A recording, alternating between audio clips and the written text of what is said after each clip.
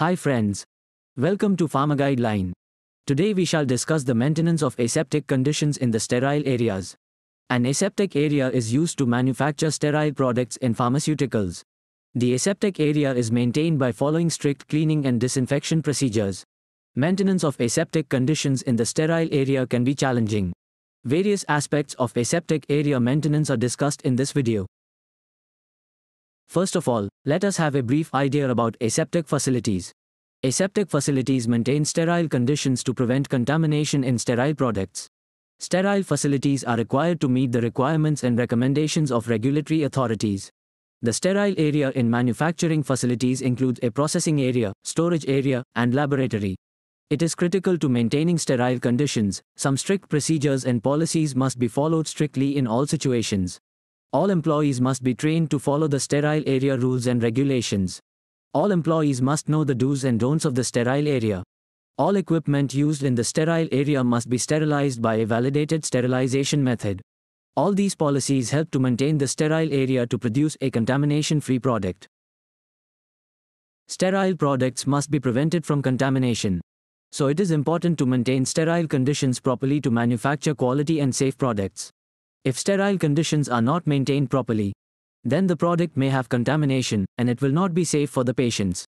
Proper maintenance of the sterile area will also ensure the health of the employees who are working in area and the safety of the patients.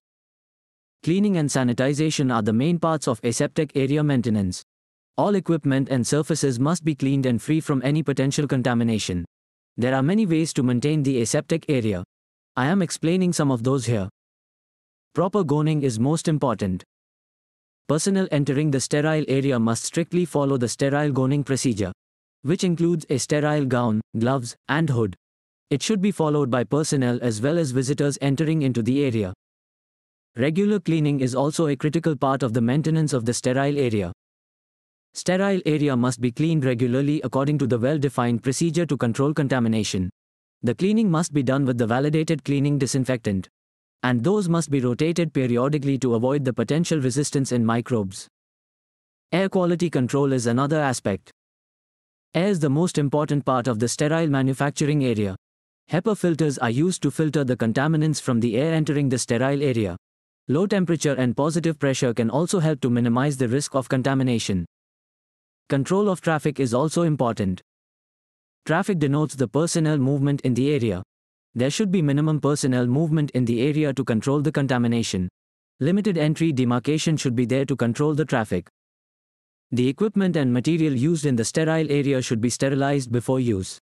And unsterilized material should not be entered into the sterile area.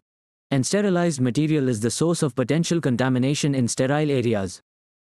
The last one is proper waste disposal. Waste in the sterile area is another big source of contamination. Waste should be disposed of properly by approved methods to prevent contamination. It is very important to ensure that the sterile area is properly maintained. There are many ways to ensure that the sterile area is maintained properly. One of the most common ways is to train the employees to follow the sterile area rules and regulations strictly. Implement the system so that the staff can easily find the source of contamination. Another way is to monitor the sterile area and equipment microbiologically for potential contamination. The area must be monitored by active and passive air sampling in every working shift. Equipment surface and personnel working in the area must be monitored using swabs and contact plates so that you can find the problem before it becomes serious. Cross contamination is a major problem in the sterile area. Cross contamination may occur if any staff member enters the area without proper gowning or any other protective gear. Improper cleaning or sanitization of equipment can cause microbial growth and the spread of microbial contamination in the area. Any contamination in the area can compromise the sterility of the product. Improper handling and storage of the intermediate and final product can also contaminate the product.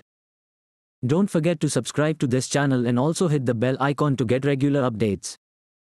Thanks for watching this video.